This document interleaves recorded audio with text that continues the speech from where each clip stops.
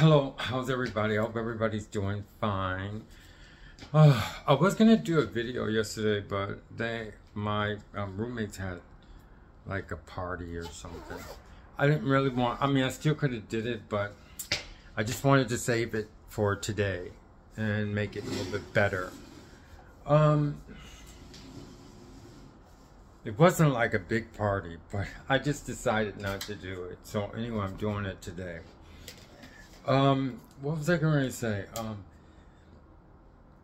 we're gonna. I'm still working on the comment, the long comment that I had, which really helps out a lot because it clears up so many things.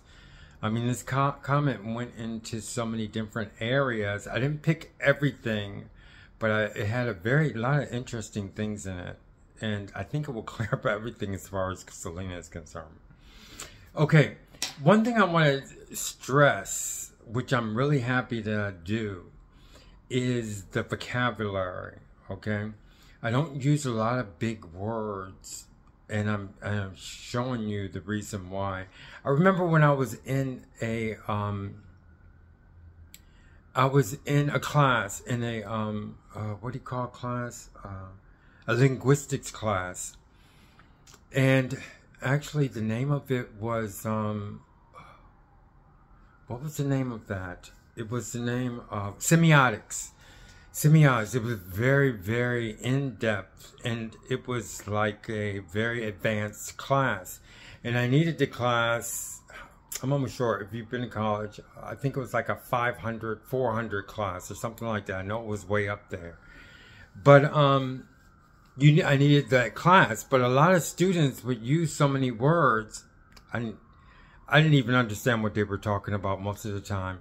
But they would read the literature and they could just bounce off so many thoughts and everything. And I remember the professor saying, you know, you could just use all those words, but you got to know all the, the meanings behind them. And then when I gave a paper to her, I remember just using simple things actually locates what you really mean. If you can use just general I'm almost sure that's why they probably use eighth grade English for a lot of things when they explain stuff because the thing about it is is that you're actually using your mind. Your mind is able to capture and see things and actually do it because when i did my paper for her she got like dizzy because i locate things and um, a lot of times they didn't understand what they were talking about. And she actually said it in class. She said, you know, you all are just explaining things and talking, but you have to understand the precise definitions of something that you're talking about. Just because you can catch on to certain words, like for instance in the text, and they had some pretty um, big words in the in the text that we had. Um, but she said that those words that you have to look them up and you have to understand them totally. So that's one reason why I'm very careful about the things that I use and things that I say. Not just that, but there's a lot of um, there's a lot of uh, how can you say there's a lot of um, how there's especially nowadays there there's a lot of specializing in things and people who are specialized in government and people who are specialized in politics and then people who specialize in all of all this thing there's no real general um, um, communications between those who specialize in this and those who specialize in that. So you have to pretty much be careful about what you say so reason why i'm saying that because i had to look up certain words. And is a reason why also because I was saying I kept saying or we were saying now that um, the Jehovah Witnesses were a, a, a sect. Okay. And I how could I wait, I have to see how I did this. Because we were saying that they were a sect, so I had to look up sect. And the definitions that I found for sect is very different from what we thought of them in the last 10 years. Like I said, everything is being specialized. So you have to really be careful with the words you use. So I ended up calling it a cult. And I still put sect up here. I don't know why. So I can no longer call the Jehovah Witnesses a sect because of the way that the definition goes now as far as a sect is concerned. I would pretty much have to say it was a cult because that one um, balanced out with what we always talk about now. So now it's a system of religious veneration and devotion directed toward a particular figure or object, and that would um, that would uh, that would give a true a truer meaning of what the Jehovah Witnesses are. Because and then I had to look up veneration. Veneration, great respect or reverence and their great respect or reverence would be to the name to the word Jehovah. Um, Watchtower Bible and Tract Society, Watchtower Bible and Tract Society, and um, and the governing body. So it no longer fits the the mold for a sect because now they're generalizing so many things because they have to generalize because there's so many specializing there's so many things that are specialized that are being specialized nowadays. So um now and then i had to look up then i looked up devotion which i already know. Um, love loyalty or enthusiasm for a person activity or cause if it's the jehovah witness mold okay? So a system of religious veneration and devotion directed toward a particular figure or object. Okay? Because, like, when I was looking up sect, I was looking up what are some, uh, a sect, a well known sect, and they were saying the Amish, but like I'm saying, they generalize things now. And I would not say anything, I mean, it's just like an off branch of something that already exist, like the Amish, who um, had a different kind of beginning. So I wouldn't place them with the Jehovah Witnesses. So now I would have to say cult. And I, I, I think we should really think about not calling them a sect anymore. Okay? Because they, maybe they started out as a sect because they did off, off, um, they did, um, have origins in uh, another religion. Um, I forgot the name of the religion, but I know that religion doesn't want me to talk about them anyway. But now I will have to view them as a cult. Now, what I was going to say, now I told you I'm still finding things in this comment that I was working on.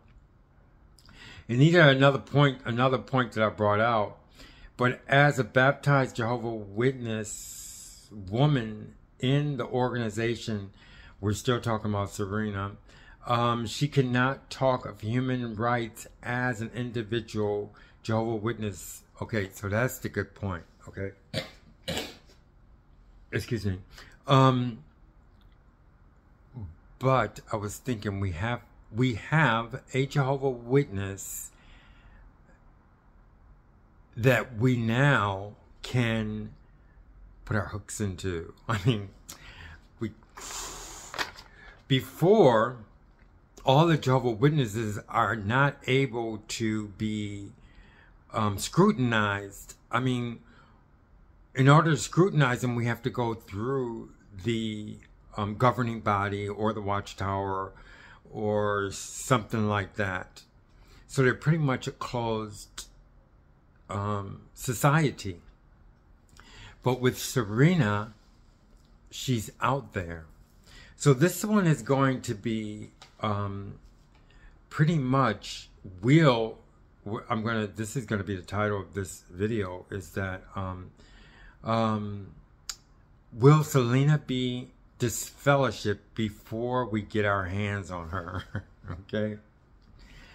Okay, because first of all, we've supported Serena and a lot of her. Oh, sorry.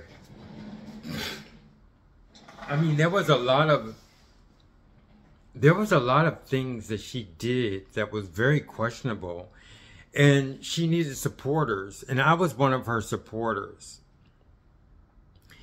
i mean um, even though she may have been wrong a lot of times because she has an anger issue and she has a lot of mental problems and um, because I thought that she was helping us as far as Jehovah Witnesses, ex Jehovah Witnesses are concerned.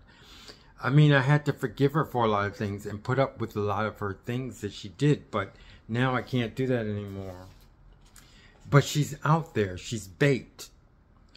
She can't hide in Jehovah Witness world. It's impossible. That's why I say she can't pretty much help the Jehovah Witnesses. So I'm drawing this from this comment that I got, and I'm glad she made this point. Okay. And which gave me, which I needed to ask Serena something. Does she actually know the difference between being baptized and not being baptized in the Jehovah Witness? It's evident that she doesn't know the difference. Um,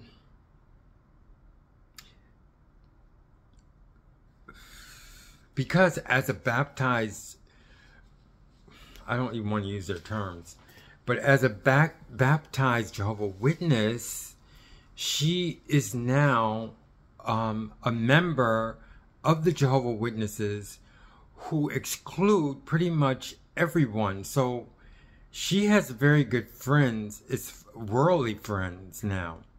Um, Serena, you just don't drop your friends. She won't be able to um the uh, I forgot the name, the Duchess or whatever. I don't know. She's a royal family, and she got married. Meghan, okay, she's got ties with them. She, she's best friends with um, a royal family member who lives in the United States, Prince Harry and um, and um, Meghan. Okay, so she's not going to celebrate their birthdays I mean, and she's not going to have Christmas parties with them. It's impossible to drop that relationship. Um, she has so much, so many worldly ties that she would actually have to hide change her name and and really hide inside the Jehovah Witnesses, which is very impossible. So that's another thing that's going to that's why I'm saying she doesn't know the difference between being baptized and not being baptized. And and then there's something else. Um, uh, with us taking care. Serena actually survived with us taking care of her. You know, all the things that she went through. Like I said, everybody supported her. And now things are going to have to, to change because she's going to have to answer certain questions that nor a normal Jehovah Witness doesn't have to answer because they're hidden, but she's not hidden. So this is one YouTube to um, for us to think about, thinking that um, how how is she going to be able to handle? I'm not going to say it's pressure, but it's actually pressure um, because she has to answer all these questions. Uh, I got this from the fact that, yes, she does have to support human rights as far as the UN is concerned. It's impossible for her not to. And in order for her to do that, how is she going to do that? I mean, being a hidden Jehovah Witness. So, like I always said, within the next three to six months, we're going to find out how she handles this. And right now I'm going to look at some, um, some, I'm going to research some uh, um, topics about how she's handling her being a um, member of a baptized Jehovah Witness cult. Okay. So I hope everybody enjoyed that. I'm going to go deeper with this and um, I'm going to read the comments on what everybody thinks as far as this one is concerned. But I think it's very important. Okay? So thank you very much and uh, hope to have another YouTube tomorrow. Okay. Thank you. Bye bye.